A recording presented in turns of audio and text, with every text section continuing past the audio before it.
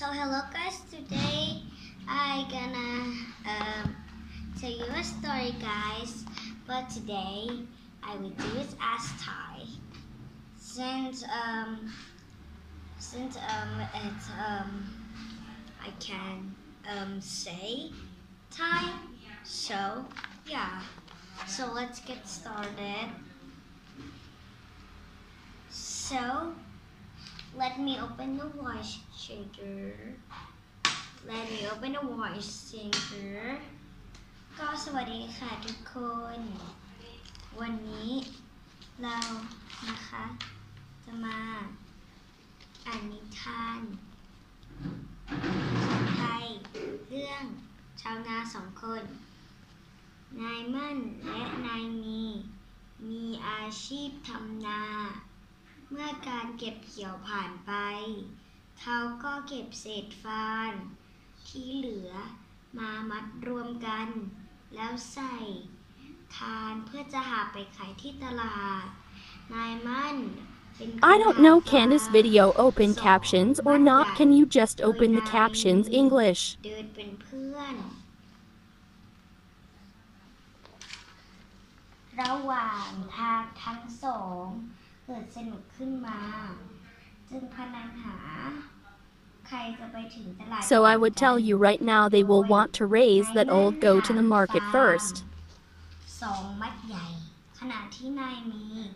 คิวแค่ฟางครึ่งมัด เล็กๆ เท่านั้น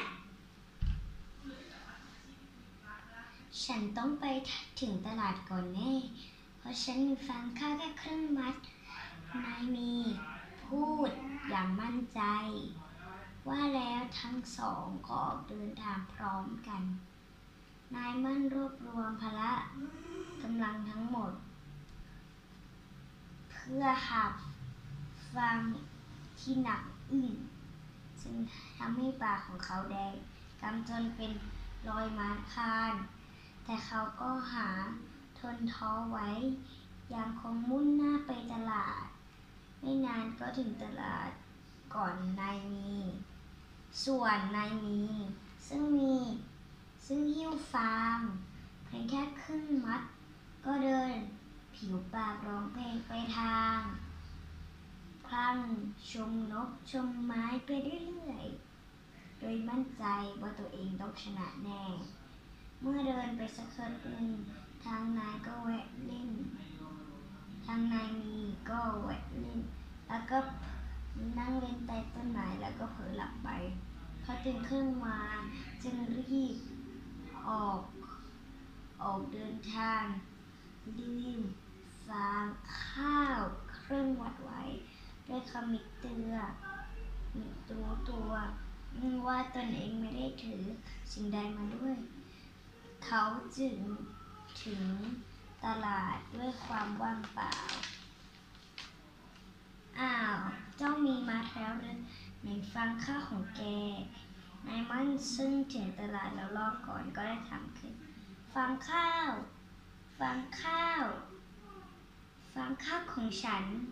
ฉันทำมันหายเซลล์แล้ว นายมั่นนิ่งเงียบโดยไม่พูดอะไรต่อไป เพียงแค่คิดในใจว่า บางครั้ง คนเราโดนกดดัน ทำให้ความพยายามเอาชนะสู้ต่อไปอดทนได้ โอเคค่ะ เดี๋ยวเราจะไปใช้เปลี่ยนแปลงภาษาให้เป็นภาษาอังกฤษใหม่นะคะ โอเคค่ะ so how was the the story do you like it if you like it please subscribe and see you at the next video bye guys do you like it? Please tell me in a comment and subscribe